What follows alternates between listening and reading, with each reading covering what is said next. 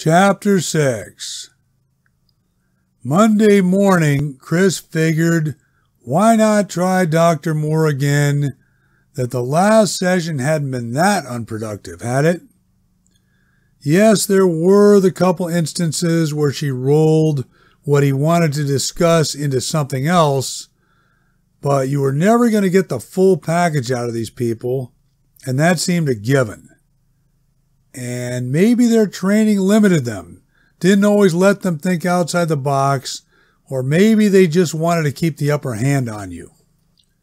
Either way, not much on the agenda today, and Chris called the office, which rang funny after the first couple rings, the way it does when you're patched through somewhere else, and there was a pause and then a Dr. Lauren Moore speaking. Geez, Chris said, you answer your own phone now? It's been known to happen, Dr. Moore said, somewhat cautiously. With whom am I speaking, please? Chris Seeley. I'm a little disappointed now you didn't catch on. The anxiety in my tone alone, that should have been the giveaway. Hello, Chris, she said. Is everything all right? You know something, he said, this is getting to be like a broken record. You and Dr. Stride both. Bruce, Every cotton picking communication represents a crisis of the tallest order. She was quiet for a minute and unfortunately probably already taken notes. She said, Chris, it's okay if it's not. How are you doing? Fine, couldn't be better if you want to know the truth. I even jogged a little this morning. Not on the beach or anything like I used to, but over to a new coffee kiosk they got in the parking lot behind Taco Bell until that place opens up for the day. Then they have to move it. That's encouraging. May I ask how far? Is this like a medical question, he said, or for your own information? Both. Why, Chris said, do you work out yourself?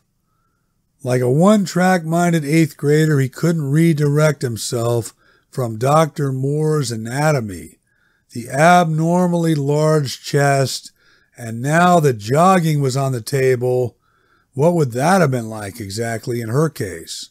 Both her participating in it and others witnessing her efforts. Chris, what can I do for you? She was saying now. Well, like I say, I'm surprised you picked up directly, he said. No big deal, but since I have you on the line anyway, can you work me in? Today? She said. Well, no, he said. I wasn't expecting that. You do have time today, though? I'm going to need to check, she said, and I'll call you back. Oh boy.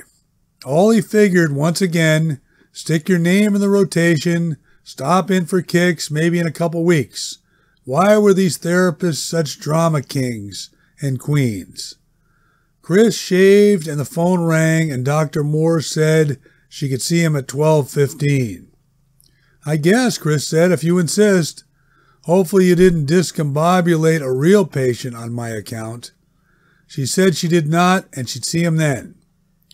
Chris went back to morning TV, and this was the thing, it was all pasteurized these days. Even the local shows.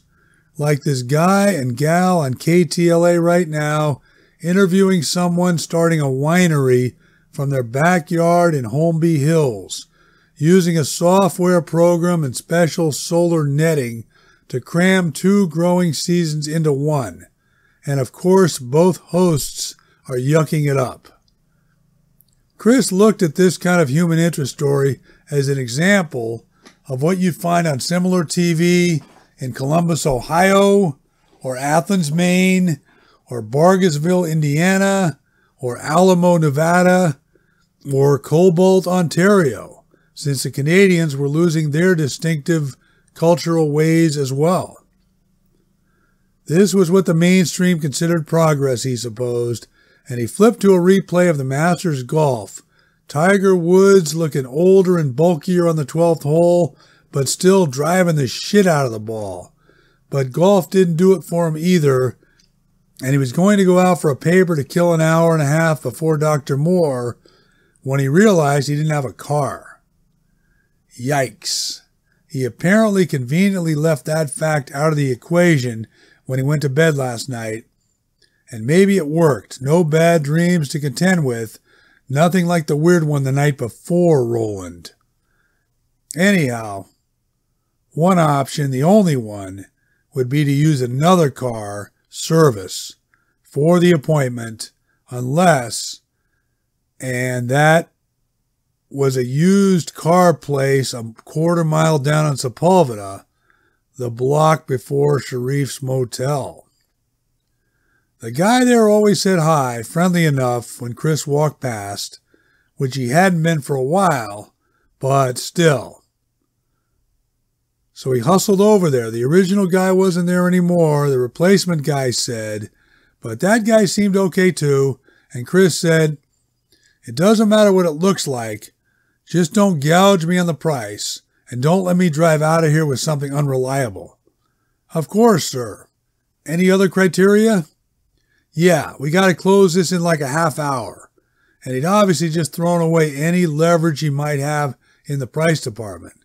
But life was too short sometimes, and there'd been another real estate investor guy one time not the catch 'em before the drug dealers wake up guy, but this other guy with a sensible outlook too, that if money makes a problem go away, spend it.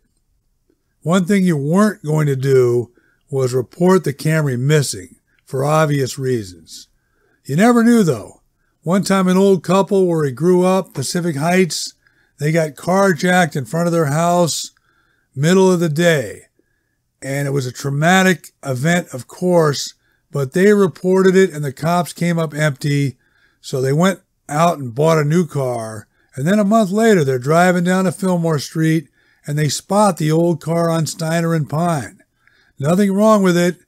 The a-hole had apparently driven it a few blocks after carjacking them, parked it there, and that was it. So yeah, conceivably the Camry was around Maybe someone jacked it up and ripped off the wheels alone, but you wouldn't count on it. There was a bit of sentimental value there, Chris conceded. Big hunk of metal with some rubber and vinyl and plastic mixed in, but even so, it represented plenty of memories, corny as that sounded. She had been a good friend, had taken care of you, 260,000 miles and going strong. The timing belt changed not once, but twice. But you moved on.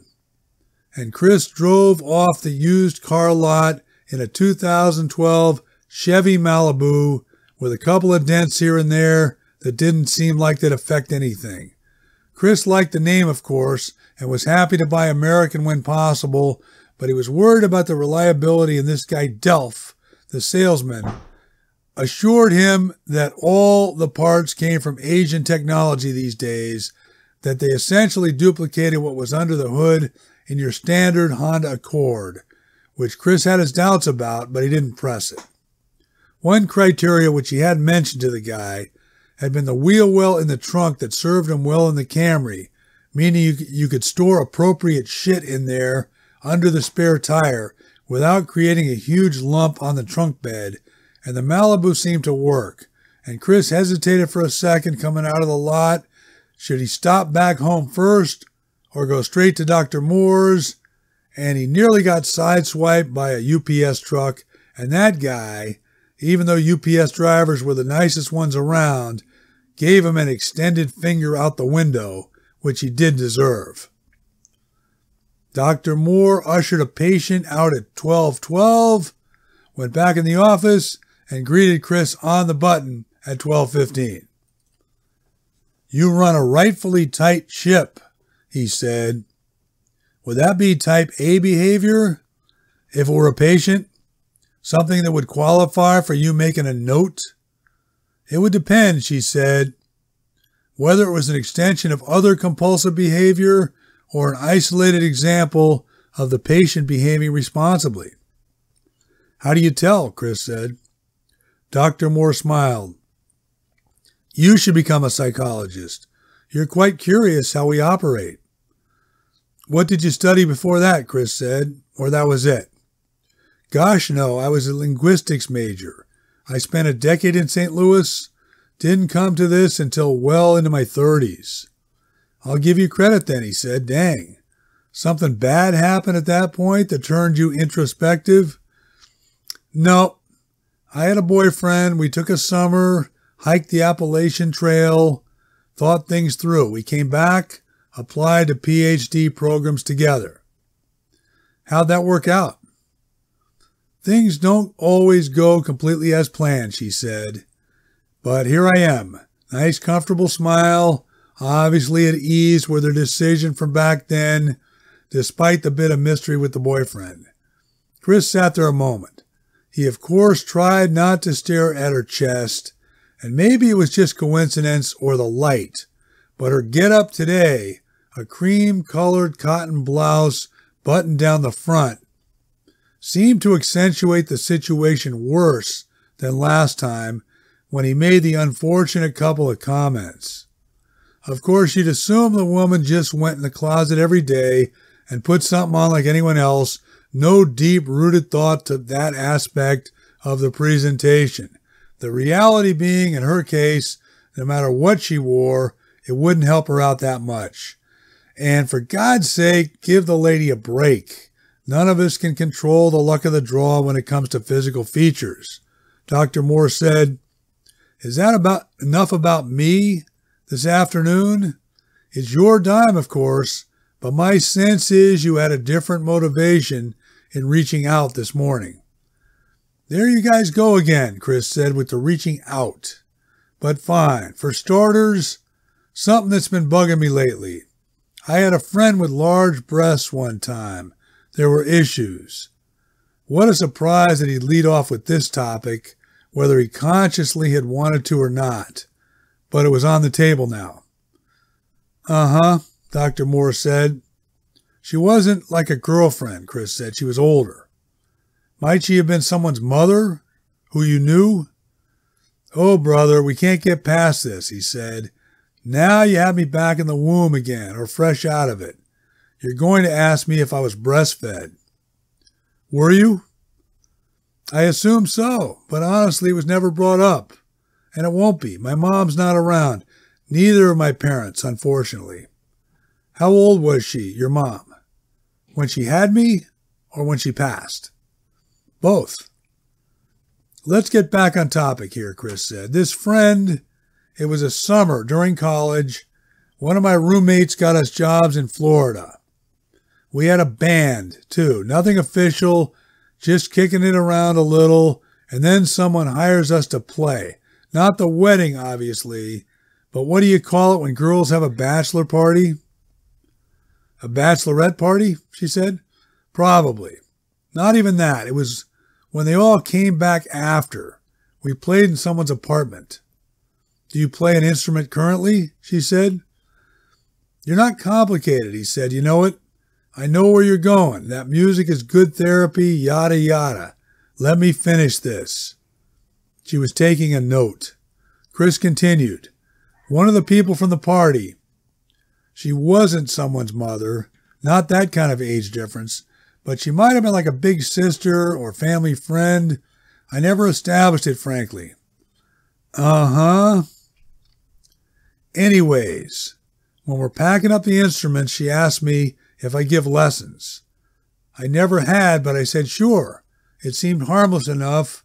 And only then, when the lessons began and we're both sitting there with the guitars on our laps, and you have that certain angle, then I noticed it. Or them. You couldn't help it. Hmm, Dr. Moore said. And you know how when you purposely try not to call attention to something, Chris said, and your eyes are roaming every which way but there? How that makes it worse? Continue, Dr. Moore said. So fine. I must have given her a half dozen lessons. It wasn't hard. She wasn't a rank beginner. And then the final one, she announces that she can't come for a while because she's going in for some minor surgery. Ah. So I figured that was it. I picked up a few bucks spending money out of the deal and I moved on. But then one day my roommate tells me, He heard she was going in for breast reduction surgery. Uh huh. And that bothered you. Very much so. Are you kidding? So I called her up. I tell her it's none of my business and it's fine if you hang up, but what the hell are you doing here? Or had she done, assuming it's too late already? Yes. She was embarrassed, but she addressed it. She said she had second thoughts. She'd received some negative advice from a few people and put the procedure on hold for the time being. I told her that was a wise decision, and did she want to set up another lesson in that case? And she said she'd let me know, but I never heard from her again. I see, Dr. Moore said. She looked at her notes. You prefaced this discourse by labeling it something that's been bothering me lately. How so? I never got closure, is why. For all I know, she went in a month later and took care of it. I know it sounds silly, and you probably think I'm a nutcase. Let's explore that for a moment. How many years ago was this? 20, give or take. Would you characterize this experience as having been on your mind often since then? Not really, only when something reminds me of it, like in a porno flick once in a while, that type thing. And why do you think it still disturbs you occasionally? Is it a lack of control? I think you got it, Chris said. I can't stand it when people don't listen to me, in certain cases. And you feel this woman did not, Dr. Moore said. Put it this way, Chris said. She ignored me, which is worse.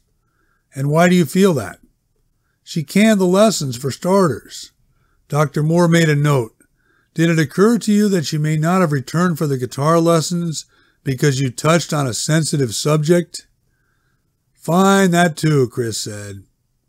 Did you have sexual feelings for this person? And part of your frustration stems from not being able to explore those further? Fine, that too.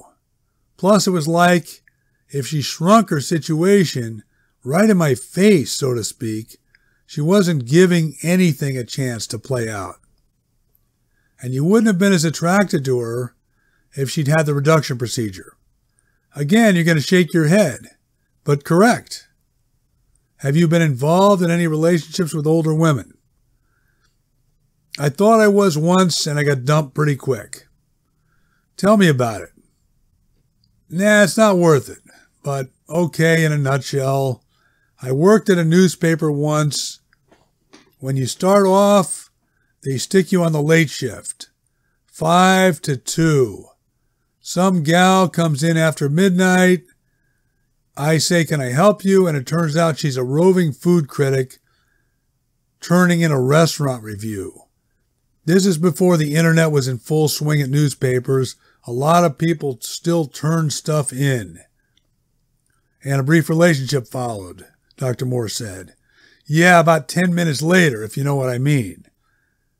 That late shift, it was pretty dead in the newsroom and there were empty offices and so forth. I see, she said. So that was the extent of it? I didn't want it to be. I bought Warriors tickets for a couple nights later. I picked her up. It was all good, but she left in the third quarter. No idea how she got home. I guess she took BART. What was your age difference? I was like mid 20s. She was probably early 40s. Right about where I am now, in fact. Geez, weird to think of it like that. So, anything else you can add, Chris, from any direction that might be helpful? Yeah, well, I was in the Central Valley not too long ago. Do you like small towns? Sometimes. I grew up in one. Do you? I hear you, he said. Good place to be from. Might not want to live there, though. I'm taking care of some nonsense up there. It's running me a few days. I'm in a hotel. The staff is friendly. It's not the worst thing. You know what I mean? You're not in a major rush to get out of there. But even so, I believe you mentioned your affinity for hotels before, she said. Why do you think you're comfortable in that environment? No, no, the womb stuff again? Security? No responsibility? They even make your bed for you and clean up? I'm detecting sarcasm, Dr. Moore said. You're wondering if truth is sprinkled in, though. He said, Fine. I'll add, when you're on the road residing in those type places, your commitments are less. Normally. Life is not as complicated for you, she said, I believe, is what you're saying. Yeah. So I meet this high school kid. He's probably 18. He's a senior. He'll be out of there in a couple months. Guy has a good name, Pike Gillette. He does, she said. It's catchy. What I did, TV was bad one night, so I found the high school track. I figured four laps to a mile, so if I go eight, I've done a little something. I'm talking walking, of course. No big thing. I stop at six, but anyway, I'm sitting in the bleachers. This kid comes along, putting on running shoes, and we start talking, and I can tell he's fine with it because you always want to procrastinate your workout. It's human nature. What did you talk about? Nothing monumental, except I found myself envying the heck out of this kid. He was athletic, all American features, genuine smile, polite, well spoken. Everything ahead of him is what I'm thinking. It also made me want to turn back the clock myself and do it right. High school, she said. Sure, it had its moments, but plenty of stuff to straighten out. Wouldn't you? Please redirect, she said. So I'm assuming this kid's got it all squared away and the sky's the limit. And I even tell him this, and I'm paraphrasing, but it's like, take it from me, son. You don't always know how good you have it until you get some perspective later on. And my unsolicited advice is keep right on having fun and not waste time worrying about what comes next. How does this Pike respond? He seemed to consider what I was saying, and then he shifted gears, which surprised me.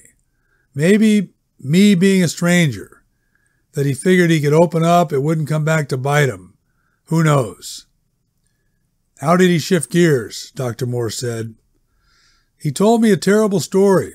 There was an accident. A drunk driver ran up on the curb and killed a woman. The Pike kid knew the family, went to school all through with one of the daughters. It happened last fall. A lot of people were still reeling bad, he said. And how did you know there was more? Pike said. Isn't that enough? I didn't. Well, there is more. Pike is having trouble wrapping his head around it. A couple weeks later, the daughter is going through her mom's things and she comes across a diary and some letters.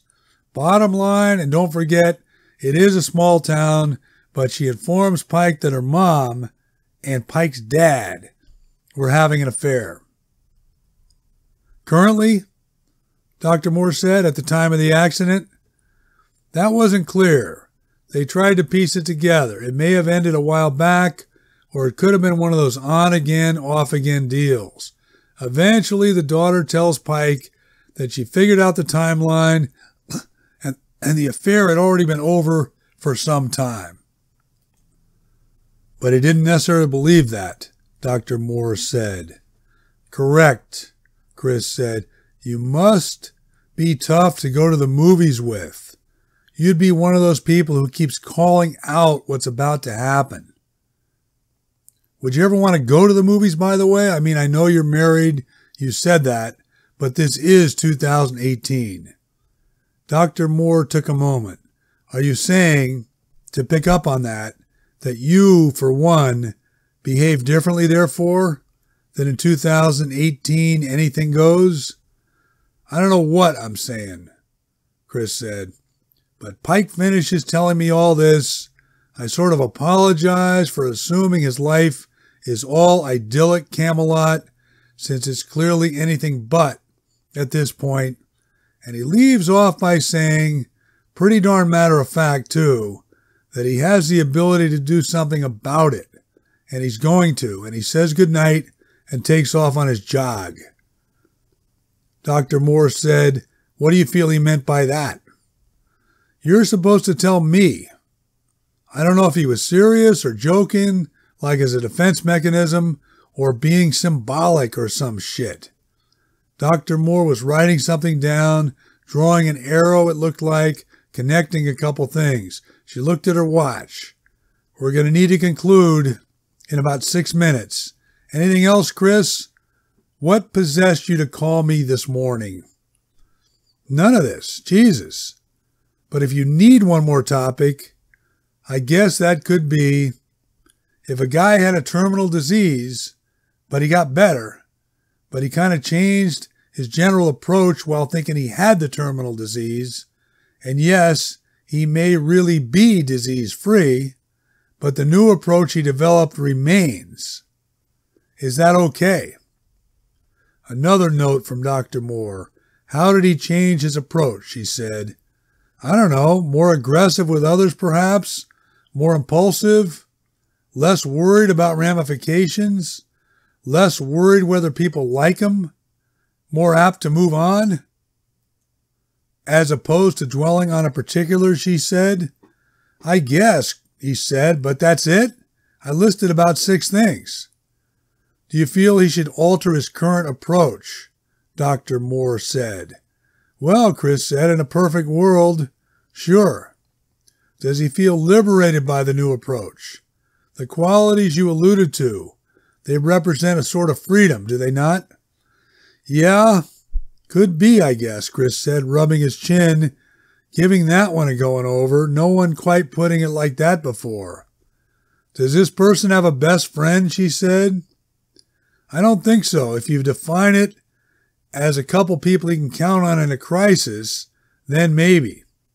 Does this person consider himself out of the loop socially? Now and then, Chris said. And that partial degree of alienation, she said, he feels it's a result of the current approach? Maybe. Under the original approach, she said, he was more prominently in the social loop then? I told you, Chris said maybe. What part don't you understand? Dr. Moore cleared her throat and straightened up her notes. That's sufficient for today, Chris. I'm sorry, he said. That was on me. Getting worked up for a second. Nothing to do with you. You're doing your job. Thank you, she said. Did you call the police on me, though? Last time? I did, she said. Oh, how about this time? I'm not planning to, she said, and they stood up. Chris wanted to give her that hug last time, even brought it up, and who knows, maybe that was part of the deal why she did call the cops. But she opened the door for him, and he hesitated a second, and then reached around and gave her one. And like a good human being, flicking the switch on the therapist role for just a minute, she hugged him back, and it sure felt real.